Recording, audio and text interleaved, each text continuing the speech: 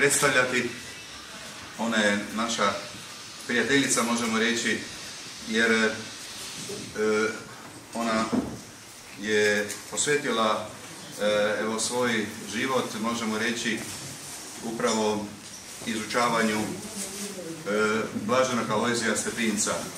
I zato dan nakon njegovog blagdana imati tu sreću da upravo ona koja je e, provela godine istražujući i hrvatske i američke i židovske arhive je da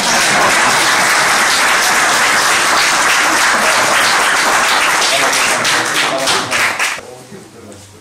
Možda nekoliko samo napomenu za opravdanje. Prva velika stvar koja će se dogoditi ovdje da je Ester odlučila prvi put imati predavanje na hrvatskom jeziku.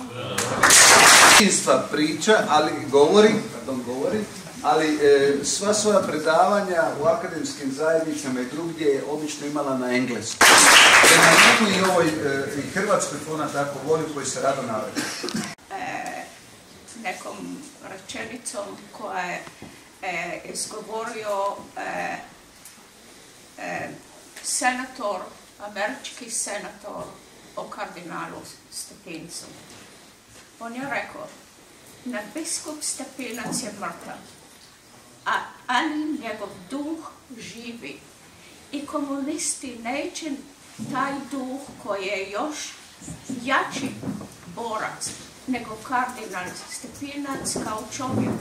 Njegovo tijelo oni su mogli baciti u zatvor i pod, i pod kontrolu, ali za duh čovjeka koji živi više nego njegovo tijelo, komunisti nikada neće ove ovoga časa sada je važnost nas biskupa Stepinca i njegova djelovanja za razobljenje vrijednosti judo od kršćanske, etike.